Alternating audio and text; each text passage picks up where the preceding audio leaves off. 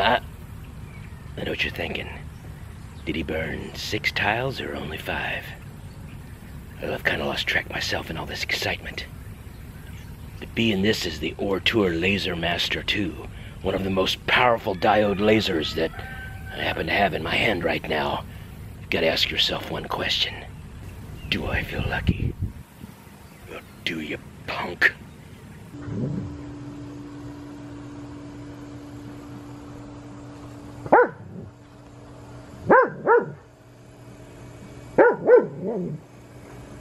Oh, hey, I guess you do feel lucky. Sorry about that. Have a nice day.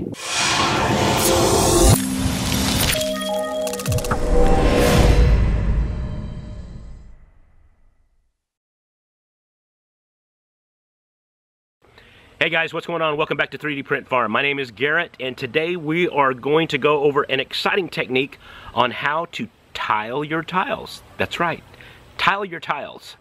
If you haven't watched my video on prepping, painting, and burning the black tiles, there's the Hulk there.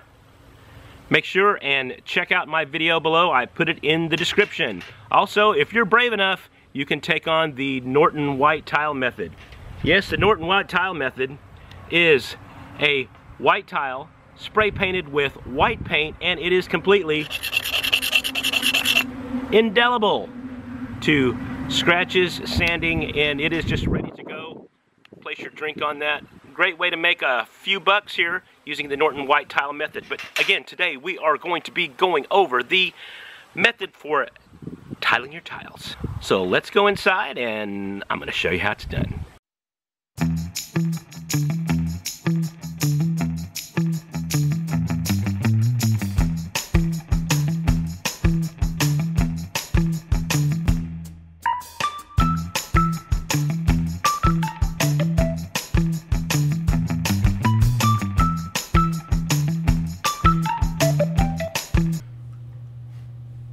Guys, we're going to start with my favorite character, my favorite childhood character, which is Mr. Herman Munster. So I'm going to type in Herman, Herman Munster.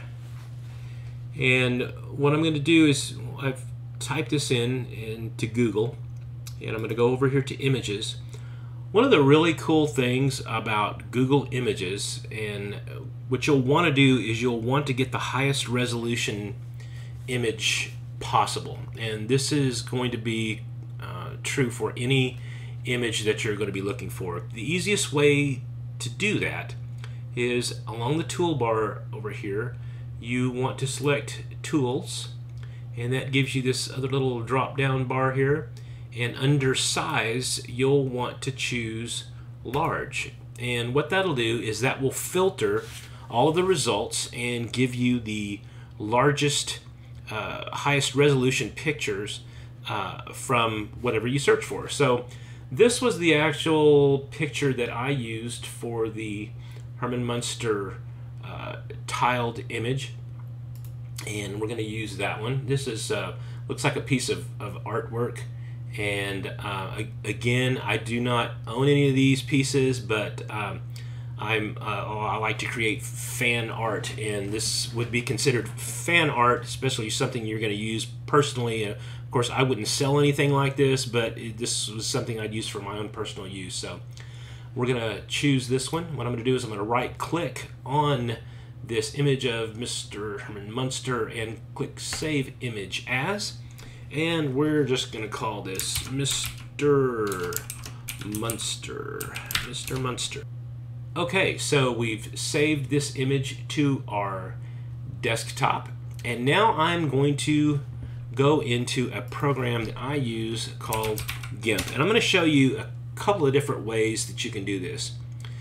Now when I use GIMP I use a paid plugin and it's called the Big Gimpin plugin and I I use it and uh, again if you would like to use the Big Gimpin plugin it's kind of hard to say uh, you can. You can go out and I'll leave links in the description below of this video of where you can purchase this plugin. So let's let's do it this way first. What I'm going to do is I'm going to go out and I'm going to open and I am going to go out to my desktop and I'm going to go down here and look for Mr. Munster.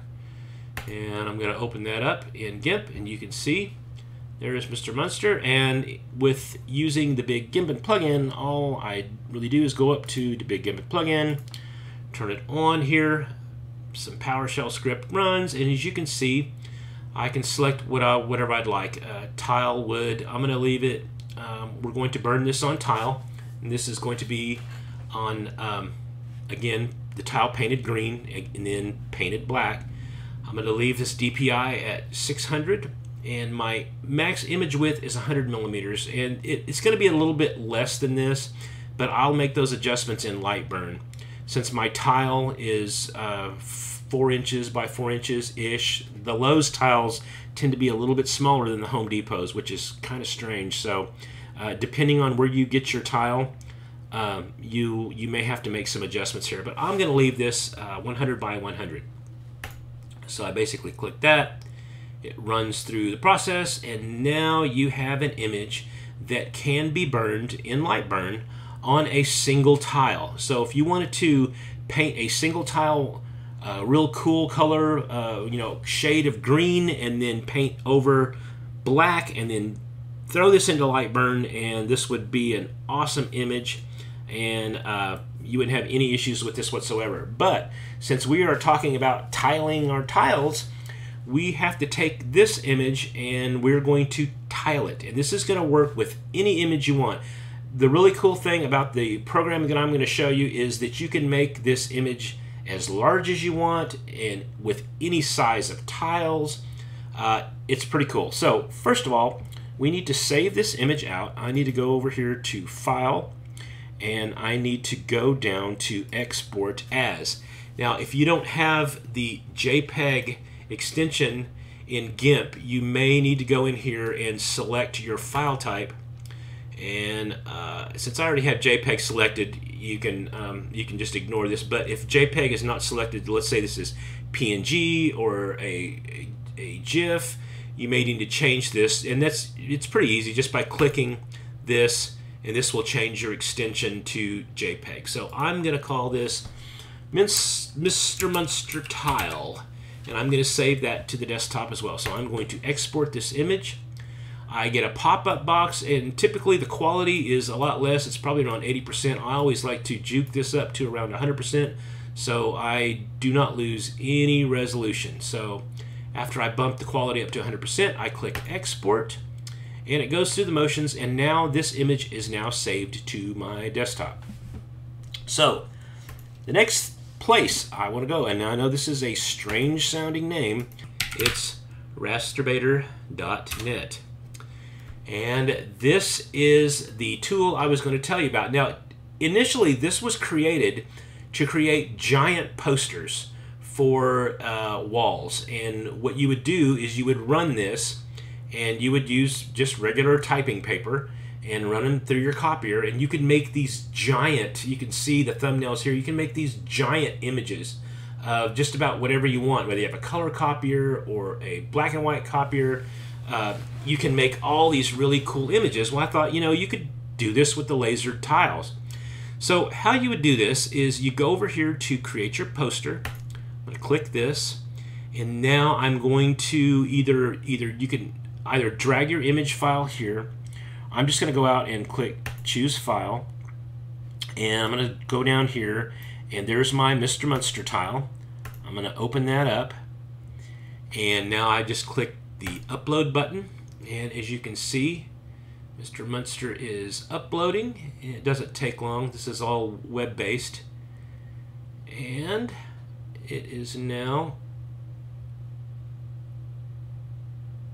uploaded there we go there we have it now, as you can see, the, the default settings are this A4 paper, which is your basic 8.5 by 11 um, size typing paper. As you can see, if you were to print this out, you would have this huge poster. But we really don't want 8.5 by 11. So what I'm going to do is I'm going to click drop down. I'm going to go down to custom, define size, and I'm going to change this to 100 millimeters by 100 millimeters. Okay, Oop, that's by 10. We're going to go 100. There we go. Now, as you can see, I do not want, I'm, I'm not going to, as you can see here, there's four tiles, and that's because this output size is four tiles wide. But we're going to change that to two to match our Mr. Munster here. So we're going to change that to two. And as you can see, there are one, two, three, four tiles for this uh, Mr. Munster uh, image on this particular tile. Now, I normally deselect this. This is an add margin of 10 millimeters per each side. What that does is that gives you white space in between the tiles. This is really helpful if, again, if you're going to be printing this on a poster size with using 8.5 by 11 sheets of paper because 10 millimeters is, that's quite a bit of space and I don't want a whole lot of white space and it, I, I just actually just deselect that and it turns out fine. So the next thing I do is click continue. Uh, there's different types of styles that you can select. I do not select any of these styles here. Again, that's only if you're going to do something like on a gigantic wall somewhere. I mean, you might like some of these weird styles here. I don't particularly like them. So if you want them, if you want the image to look just like it did when you converted it, just select this no effects style. As you can see, it's exactly the same. I click continue. Uh, since we're not dealing with any of the presets, there's no reason to click any of these here because it really doesn't matter. You can leave all this alone. It's not going to do anything because there's nothing to do when enlarging without any effects. So all you got to do is ignore this stuff, click continue, and then now you're in a position to where uh, you can either uh, leave this alone. This is the default setting, which is enlarge, plain enlargement. I mean, there's some other options in here, whether you want a half tone or, I, again, just leave it, leave the, the default settings. The crop marks I take out, and what the crop marks are is, if, if any of you are familiar with uh, Adobe Illustrator, they're these little tick marks that are put on the images so when you put them together, when you, when you cut them out, I guess you'd say, with um, they, they line up. So let's say you printed this on typing paper, it's so all the images will line up properly. But so I am not going to use the crop marks and I am just going to click the button, complete four page poster. It is going through the process here. And as you can see down below, it has created a PDF. And the PDF, it is just self-titled Rasterbation here. This is the I've done this quite a few times here, so this is um, this is the eighth one I've done, and uh, that's all there is to it. To turn your uh, your image into a tiled tile. So the next thing we're going to do is, you know, how do you, what do you do with this? And it's pretty easy. I'm just going to go over here into Lightburn. I'm going to open Lightburn. If I go out here to my downloads file and I open, here's the PDF, and here's all the four images, which are 100 millimeters by 100 millimeters, and those are the tiles that you would burn. It's like, how in the heck am I going to get these images into Lightburn? Well, Lightburn has a really cool function here, and I just discovered this the other day, is all you really have to do is go up to File, and click on the Import selection. And here, if you're in Windows, it's I'm just going to select this PDF here, which was the Rasterbation number 8. I click Open, and then I get this little pop-up. It says, the file you're trying to load is a multi-page document. Which page would you like to load? Well, I'm going to load the first one. So boom, there is the image. Now, as you can see, there's some of this I kind of call it, I guess you call it garbage that's just kind of uh, around it. There's a couple of ways you can get rid of this. Uh, over here on your cut layers section, I mean you can you can actually turn all that off. What I do is I just select the layer and click the trash can and it gets rid of that. So all I have left is this uh, actually it's 99.998 uh, size image. And again, all I do is I have this on here. I'm going to go back through and I'm going to import each and every one of these. Of course, here we go. And then get rid of the lines. And now we have four images here. Now, I have not tried to burn it. I've, had some questions from uh, some of my subscribers of the channel saying, hey, why can't you just put all four tiles down on the uh, on the board and just laser them all at once? You know, I have not tried that, and that may be something I'll I would try in the future. But uh, again, what I do is I do these uh, all you know one at a time. So how you separate these guys one at a time because if you see here it, there, it looks like there's just one image so I want to separate these and if you'll look down in Lightburn you'll see all of these colored boxes down here in fact it's uh, double zero through 29 uh, what, you, what these correspond to are uh, layers that you can uh, create so what I'm going to do is I'm going to select the first square here I'm going to I'm going to click this uh, 0, 1. And as you can see, it created a new layer. I'm going to click this, second square, and click this. You can see it created another layer, and so on and so forth. I'm going to go through and I'm going to create all these layers. So now I have one, two, three, four layers. And as you can see, you can actually turn these things off. So when you turn off the layer, in the under the show column, you're basically making it disappear. If I were to start this laser up, it would burn this image that's hidden. So if you do not want to burn the image, you you unselect the output section. So you can see how it kind of fades out. When this item is faded out, it will not uh, it will not be burnt into your substrate. So what I'm going to do is I'm going to go through and I'm going to turn off all of these except the very first one. And this one, I mean, I can leave them here, you know, or I can move them around. And then what I'm going to do is I'm going to take this first image, I'm going to lay it on my board, and I'm going to line the laser up as I'll go through and I will burn this. And uh, again, your mileage is going to vary with this. As you can see, these are set up to the, the default is 6,000. I'm going to set this to 1200 and my max power I'm going to leave that at 20%. Now here's a real important tip that you're going to have to do. Since we made our changes in with the big Gimpin plugin and we have converted that image to where it can be burned with a laser, uh, it has already been converted. So what that means is is that you need to select this switch here that says pass through. And what pass through means is that the image will be printed exactly like it was when you changed it in GIMP. So Lightburn is not going to be making any of the any changes in with any changes with uh, with the image mode or anything like that. So you need to make sure that pass through is selected.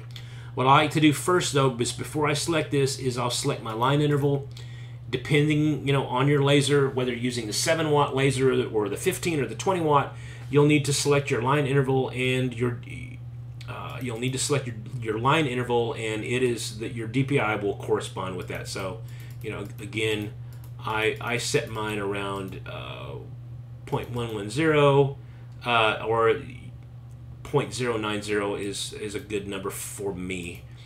And then turn on pass through and you'll see all these options are grayed out. And then click OK. You'll need to make sure that you do that for every single layer because uh, trust me, I've done this before and it's it's not it's not cool to for this thing to kick off at 6,000 millimeters per minute. So uh, again, if this output button is green is selected, that is the item that is going to be burned. And again, when you get done, all you need to do is turn that off, go to the second one, click output and turn it on. I mean, you can lay it right on top of that one. And then you would burn this one and so on and so forth. You'll just turn these on, turn them off. And again, you want to make sure that you've changed these, change these numbers around and make sure that your your line intervals are set correctly, pass through is turned on. And that is really all there is to it to burn those particular tiles one at a time. Now, as a bonus, I am going to show you a program. It converts images that will allow you to burn them with the laser. Okay, the next thing I'm going to do is I'm going to go out to a program called ImageR, A-I-M-A-G dash R.com. Now I'm going to select this button here, which is an upload button. I'm going to go down and I'm going to grab Mr. Munster again here, and it takes just a little while to, there it is right there. There's Mr. Munster in all his glory in black and white. And uh, this is a crop button, so if you want to crop the image, we're not going to crop it because it's actually nice and square. I'm going to go and resize this image. Currently it's 1920 by 1920 pixels wide. I'm going to change this to uh, millimeters and I'm going to go 100 millimeters by 100 millimeters at 100% and I'm going to change this to 600 dpi and click OK. And as you can see I have got my image here. Looks real similar. Uh, so now I go over here. Since I've resized it I'm going to choose my material that I'm going to be burning on. So I'm going to be burning on white tile which it's going to be white tile that I've spray painted green and then painted over black. I'm going to select that option and click OK. And as you can see, the image has been inverted and it's ready to go. And all I really need to do is click the floppy disk icon, the save icon, and click download JPEG. And as you can see here, JPEG has been downloaded and is right there. And again, what you would do is you would take this over into the Rasterbator program. Again, go to create your poster, choose your file, scroll down to the bottom, and we're going to find the one, actually that was in the download section, so that's the reason why I don't see it. So there it is, there's 2613 and I'm going to upload that file. Again, the ImageR software is a free software that you can use. It's Again, it's browser based. You do not need GIMP. You don't need any plugins. Uh, all you really need to do is um, head on out there, upload your image, and then again, you do the same thing. So I'm going to change this to custom 100 by 100 I'm going to take the margins out. I'm going to take. I'm going to move this to two sheets wide. So now I've got one, two, three, four. Continue. No effects. No effects. Continue. Continue. Take the crop marks out. Complete the poster. Go through the same steps that I showed you how to do uh, when we used GIMP. And again, you'll pull those back into Lightburn, and then all you'll really all you'll really need to do is burn those tiles like we talked about and you're in business. Again, this was a four tile, uh, a four tiled tile. Here's one of the nice things about this is that let's say that you get some get some images of your family or maybe if you're doing this as a business, you could take pictures of people and pets and you can not only just place them on a single tile if you're going to make a uh, a coaster out of them, you could do multiple tiles. You know, you could do tiles of six or nine wide, or you can do tiles that are elongated. Do all kinds of stuff. And here, let me just show you some examples of some of the stuff that uh, that I recently did. Come check this out.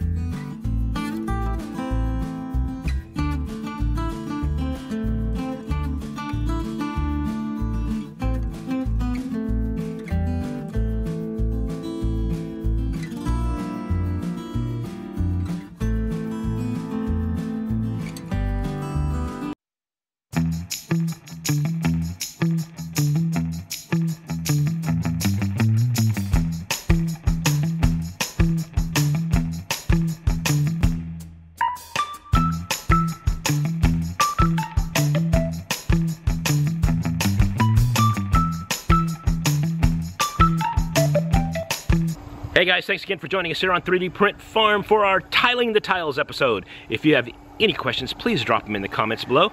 And hey, if you don't know how to burn a tile, check the links in the description below. I have detailed descriptions on how to burn individual tiles so you can create a tiled tile. Hope you guys have a great day and we'll see you again next time on 3D Print Farm. Bye now.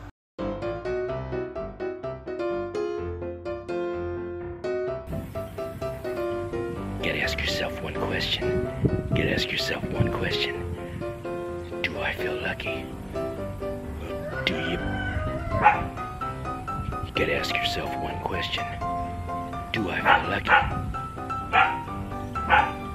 I guess the dogs feel lucky. Why am I talking like this? Gotta ask yourself one question.